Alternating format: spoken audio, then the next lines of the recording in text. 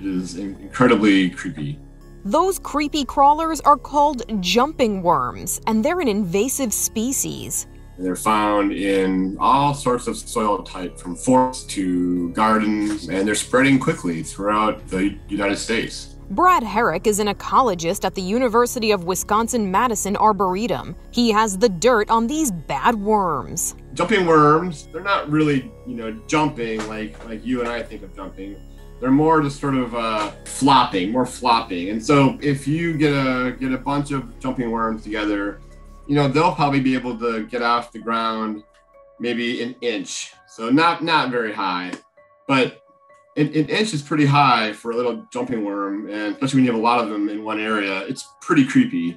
You know, they can get up to, depending on the species, eight inches long, and they'll act like a snake. Ick factor aside, why are jumping worms a problem? There's no predators for them. Um, they can multiply quickly, and there's lots of food for them. The problem is when they get to be high, um, have high abundance, um, they eat so much of the food, and that, and by food I mean like leaves that fall from the trees, which we call leaf litter or in your garden, they'll eat little roots in your garden. And that really changes the whole ecosystem. It changes the soil, it changes the plants, changes what can live there.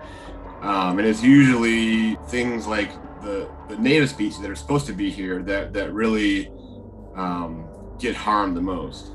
Jumping worms can damage gardens and sugar maple forests particularly you're left with is just bare soil, which is really hard for native plants to grow. You get a lot of erosion kind of happening in those forests. You happen to get rid of birds that like to nest on the forest floor or other animals that, that live there. And so they fundamentally change what the forest looks like and how it behaves. And then in, in gardens, instead of having nice soil for growing plants, they turn that soil into little pellets like coffee grounds or taco meat and it's really loose and plants can't grow in that and water can't it doesn't take up water very well. How can you find out if jumping worms have wormed into your garden or yard? What you can do is it's a really fun technique called a mustard pour you take a third cup of dry mustard powder and you mix it with a gallon of water and you shake it up really well and it kind of becomes this yellow slurry and you can pour it over the soil and wait 30 seconds to a minute. And eventually, if there's any earthworms in that soil, they will rise to the top. And what's happening is that they don't like the feel of, of, that mustard on their skin. Kind of a, it's kind of a skin irritant, and their reaction is to get out of that soil as fast as possible. And they come vertically out of the soil, and you can pick them out, put them into a bag, right in the garbage.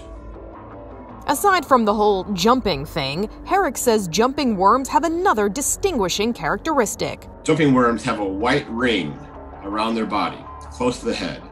And it stands out from the rest of their body, which is sort of brownish and pink, like a normal earthworm. No other earthworm has that white ring, except for jumping worms. That's a really easy visual trait that you can you can tell. Herrick is working with other scientists to try to stop the spread of jumping worms. We don't have any good kind of larger scale um, you know eradication program or technique going on.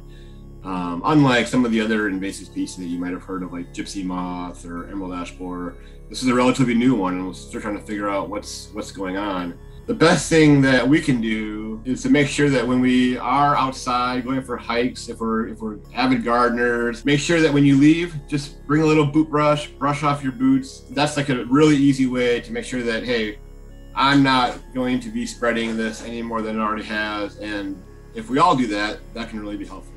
He also has another piece of advice. Do not use jumping worms for bait. They do not like it and they will slither away, they will wrap around your finger, they will drop part of their tail as a way to escape that kind of you know predation or behavior. And so we really discourage the use of especially jumping worms for fishing bait. Herrick says it's important for people to do what they can to stop the jumping worm army. They're found in 37 states, as far as we know now as well as Ontario. Um, invasive species can quickly do a number on native species that don't have defense mechanisms against against their invader. So it's still early in the invasion, but it's happening fast. This is Inside Edition Digital.